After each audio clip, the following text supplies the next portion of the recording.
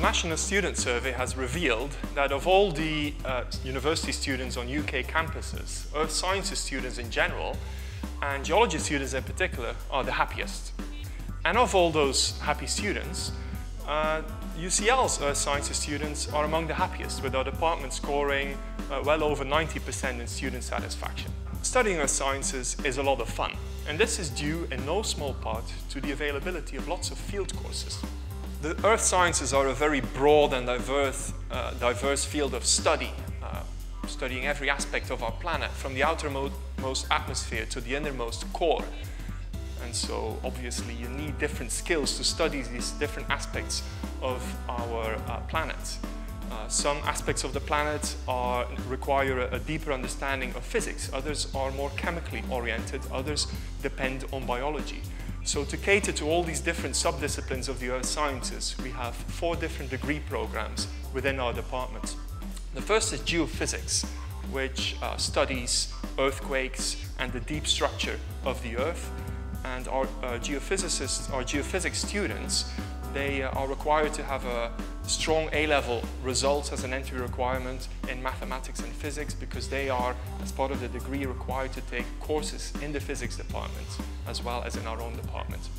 A second de degree program is geology. Geology is a field of science which uh, requires a solid understanding of chemistry and physics, but also adds uh, an additional component to that which is unique to geology, and that is the ability to go on the field and make field observations.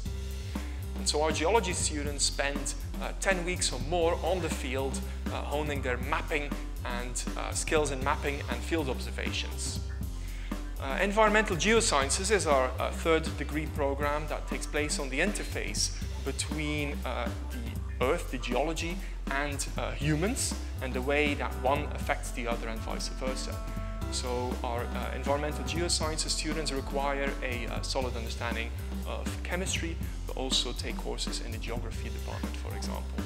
And then uh, fourth, we've got uh, a degree program that is catering to those people who cannot make up uh, their mind as to what they want to specialize in. That's the General Earth Sciences uh, degree program, which has a very large number of optional courses and uh, in which you can also specialize somewhat, for example, in paleobiology.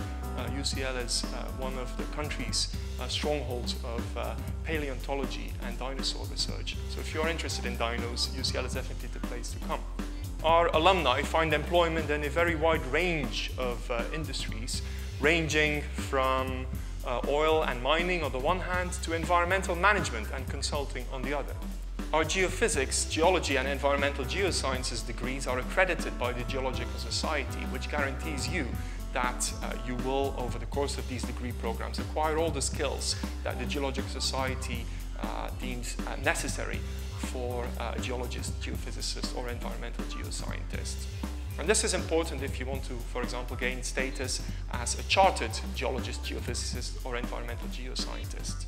That charter status is awarded by the Geological Society. Needless to say, uh, it really helps if you have a, a, a, uh, an accredited degree. So there you have it. If you are looking for uh, an interesting and fun degree, which offers great employment opportunities, then look no further. Come and study earth sciences at UCL.